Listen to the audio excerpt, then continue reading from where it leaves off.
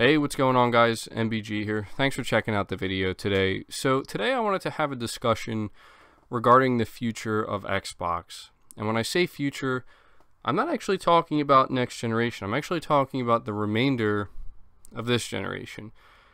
And this conversation is going to involve PlayStation. And the reason for that being is some of you may have checked out my last video.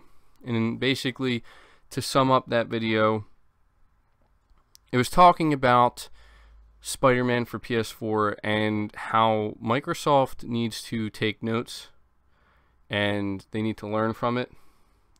But actually, a lot of that video was me pretty much being hard on Xbox because I feel like there was there's no answer. Microsoft doesn't have an answer for this game that Sony has. And in my opinion, even though I'm looking forward to Forza Horizon 4, that is not the answer. That's not the answer to God of War.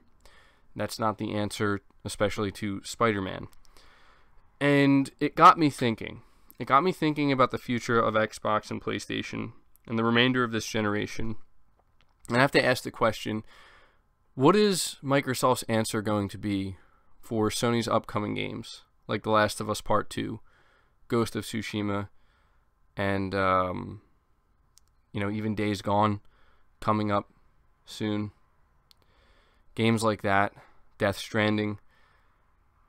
What what's what is Microsoft going to do for its fans when it comes to exclusive games? What what is the answer going to be? How are they going to compete? Well, we know about Crackdown 3, and I'm not even going to talk about that here because we all know the horrific development cycle that this game is clearly going through. And it's starting to look like Microsoft just is going to force it out the door, regardless of how good of a game it actually is, because they know they would get much more flack and much more pushback if they chose to cancel it. Basically, it seems like they have no choice but to release the game. And I still, I, I I'm not gonna lie to you guys. I don't, I'm not feeling confident at all in Crackdown Three. I, I want, I want so badly to think this could be a good game, but based off of everything we've heard and seen so far, and the fact that it has basically zero marketing as of right now, no, I, I, I don't think that's going to compete with Days Gone. I don't think that that's going to compete with anything that Sony has to offer. And again, it's not the answer to anything. Now, it could end up being a, a, good game, and I hope it is. And if it is, then okay, maybe we can count that as an answer to something. So Microsoft has something. But I'm tired of saying that. I'm, I'm, I'm tired of saying I'm tired of saying, well, at least Microsoft released Sea of Thieves, or at least they released State of Decay 2, because there's nothing wrong with those games per se, but there is something wrong when they're basically the only games. You know, like there needs to be more, and they need to be better. And that's just the truth. And I sit here and I look to the future and I think, okay, well, there's Crackdown 3, and then there's Gears 5, there's Gears of War 5, but let's say The Last of Us Part 2 launches holiday 2019. Let's say that's when the same time Gears of War 5 is going to launch. That's that's going to be Microsoft's answer.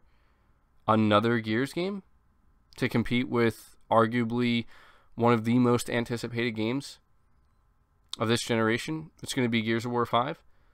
Is is there going to be something else? The next Halo game.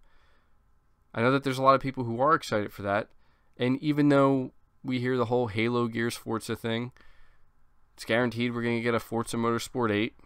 And at this point, I don't even want to talk about Forza. I, I don't because it's try like we we know I'm not trying to downplay it, but we know it's there and it's always going to be there and it's not going anywhere. But again, it's not the answer to games, these games that Sony has lined up and the games that Sony has released. And I feel really bad as an Xbox guy that I have to sit here and think like this because it's not acceptable, you know? And it, it really is bothering me. Like, I went to, I saw the Spider Man advertisement, the official uh, advertisement for it uh, when I was watching the Eagles Falcons game the other night, and it blew me away. It was uh, it was awesome. Like it was one of the best commercials, let alone game commercials I'd ever se- seen. And I thought, my God, like, Sony is just crushing it, man. Like, they are absolutely crushing it. And I thought if, if a game like Spider Man, which, let's be honest here, I think we can safely say that a game like Spider Man, developed by Insomniac, it's Insomniac's first time making a game like this. I think the hype levels would are we could assume are lower for a game like Spider-Man than say The Last of Us Part 2 or um or especially a game like Death Stranding. And I think if if they can achieve this level of success with with the hype levels being a little bit lower, what what's going to happen when these games come out? And here's here's the most important part of this conversation. What the hell is Microsoft going to do? because it's really starting to feel and it really feels this way when when Sony releases these big highly successful games it really feels like Microsoft is just laying down and taking a beating and they're just not going to do anything and I feel like the only thing they're going to do is say we'll get you next gen and I mean, I don't necessarily know if they have a choice, and that's the sad. That's like the worst part of this conversation I don't know if they have a choice. I don't know if there's something they can do right now or something they can do to be ready for next year or even 2020 when these games that are currently in development at Sony eventually release. I don't know if there's anything they can do. Making big games that Sony is making, it takes time. And Sony had a plan, and they are executing that plan pretty much flawlessly. And I don't even know if Microsoft had a plan. And I know you guys, I, I understand that there was a big shift back in 2014, and they basically had to pretty much start everything over. But even then, like, how can we get the Xbox One X, but we don't have the games, the games that we want, the games that we would hope to see by this point, or that we hope to see in 2019? How is it that we see another E3 go by and we get yeah, it's it's great to see Halo, but we knew about that, and not only that, we saw very little of it, and we, I think most of us are assuming it's going to be a next gen title. It could launch at the end of this generation, and that would help a lot. But it's where's the new IP? You know, where is um, why why is Gears Five like the only big AAA exclusive game with a tangible release date? or you know a release window. Why do we have to sit here and say year in? Well, we know we're getting another Forza, but that's about it. It it gets it gets to a point where it becomes so clear why Sony is dominating the way they are. And as an Xbox guy who tries to be optimistic and tries to be positive, and I'm not trying to be too negative here. I'm not sitting here saying like I'm done with Xbox and I'm tired of their shit or you know, it's it's nothing like that. It's just genuine like disappointment in the sense of I have to question why it's like this and why Microsoft and Phil Spencer and everybody who's part of Xbox just are seemingly taking it. I mean, when I see people who are part of the Xbox team congratulating Sony and Insomniac Games on Spider Man. I don't have a problem with that. That's fine. But where the problem lies is you're doing this while simultaneously doing nothing for your the, the, the fans of your platform. And when I say nothing, I'm strictly speaking about the exclusive games. And I want you to understand for anybody who's listening to this who may enjoy the games that Microsoft does offer, games that have come out in the past, games like Gears 4, Quantum Break, um, you know, even Halo Wars 2, games like Sea of Thieves, State of Decay 2. If you're looking forward to Crackdown 3, if you're excited for Gears 5, that's great, you know. And there's a part of me that feels uh, that understands, you know, because there is stuff I enjoy on the Xbox platform as well. But there is there is a clear line here that separates Microsoft from Sony when it comes to the games. Just like there's a clear line that separates the PS4 Pro from the Xbox One X. But the difference is there's only one Xbox One X and there's only one PS4 Pro. And it's a clear line and it's not going to make as big of an impact in the long run as the games will. Because the line between the games when it comes to what Microsoft offers and what Sony offers it's growing. You know that it's it, it's the the gap is widening. And it shouldn't be. It should be the opposite. Microsoft should be slowly but surely doing better and catching up. And it seems like this generation that's just not going to be a reality and a lot of people have told me like there's no point in having these conversations because Microsoft has already waved the white flag. And there's a part of me that doesn't want to believe that they're just going to let the generation end by them basically getting the shit kicked out of them. Because they already got the shit kicked out of them at the start of this generation. And they made a lot of positive changes. And, you know, I give them a lot of credit for what they did with the Xbox One X. They've been making some se- serious progress.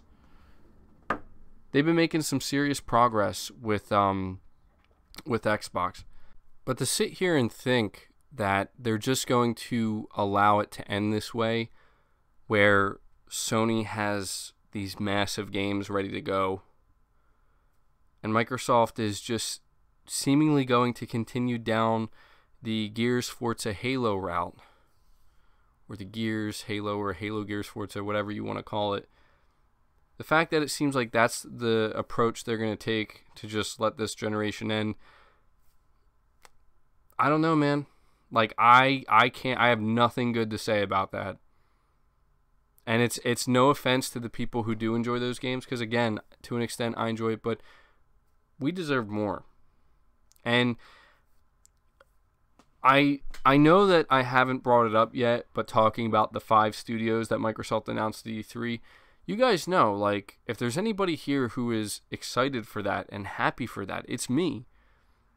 But that's not you know that's not going to make up right for right now.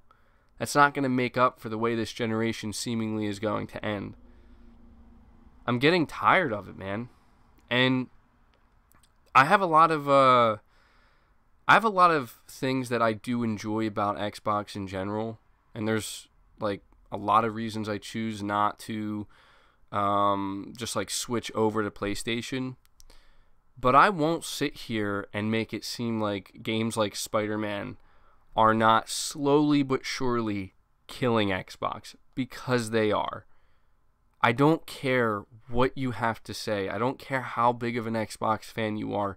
If you can't see that when ga- every time a game like God of War releases or Horizon Zero Dawn or now with Spider-Man and eventually The Last of Us Part 2 and Days Gone and Death Stranding, every time these games release, and even games like Detroit Become Human, a lot of people enjoyed that. They are just put it's just another nail in the coffin. And you know what the problem is? I don't fault Sony. They're they're doing what any gaming company would do, what any company would do. I fault Microsoft because they're just lying in the coffin. They're not trying to fight it. They're not trying to fight back. They're just letting this happen and they're congratulating them. They're congratulating them. Did anybody from Sony congratulate Microsoft on the launch of State of Decay 2? I don't think so because there's nothing to congratulate. Oh, congratulations, your game launched as a beg- as a as a, a buggy mess. Cool. Like it it it doesn't make sense to me. It doesn't make sense to me. It's disappointing. It's unacceptable. And I don't like this idea that I'm going to have to sit here as an Xbox fan and just watch it continue happen for the next 2 years. I don't like this idea that I'm just expected to wait until next gen cuz I don't want to do that. I really don't. And all I can hope is that Microsoft has something else up their sleeve. But until then, we're just going to have to wait and find out, guys. That does it for the video. Let me know your thoughts down in the comments below. Leave a like if you did enjoy it, and subscribe for more content like this if you haven't already. But until next time, guys, take care.